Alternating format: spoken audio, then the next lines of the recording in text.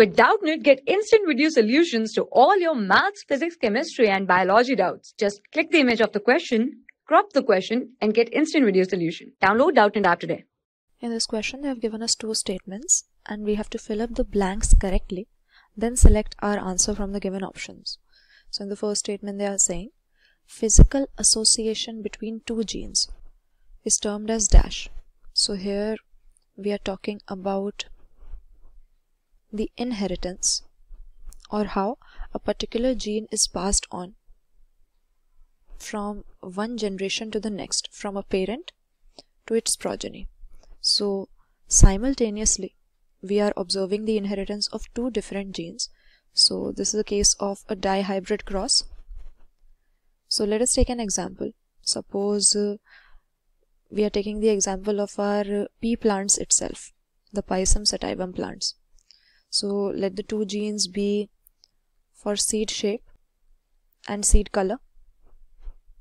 So on one hand, let us take uh, a plant which is pure for round shape and yellow colored seeds. On the other hand, the plant having wrinkled shape and green colored seeds. So in such a dihybrid cross, so in such a dihybrid cross, in the F2 generation, we obtain a characteristic ratio of 9 is to 3 is to 3 is to 1 where 9 of the offspring are going to resemble this parent. They will have round yellow seeds.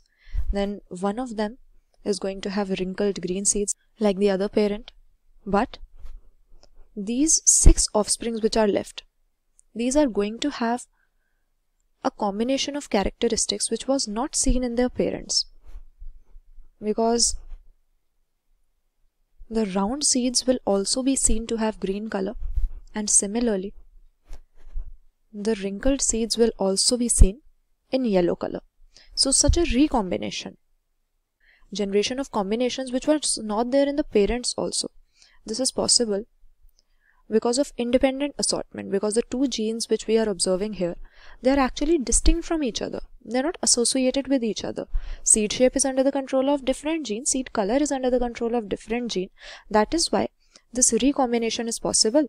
And these non-parental gene combinations are also appearing in the successive generations apart from the parental combinations However, if uh, these two genes which are controlling the seed shape and seed color, if they were present on the same chromosome, then this would not have been possible.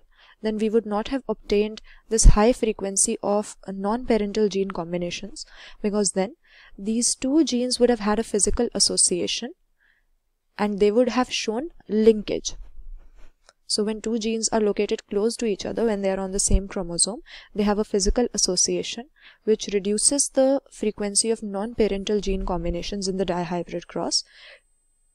It violates the law of independent assortment.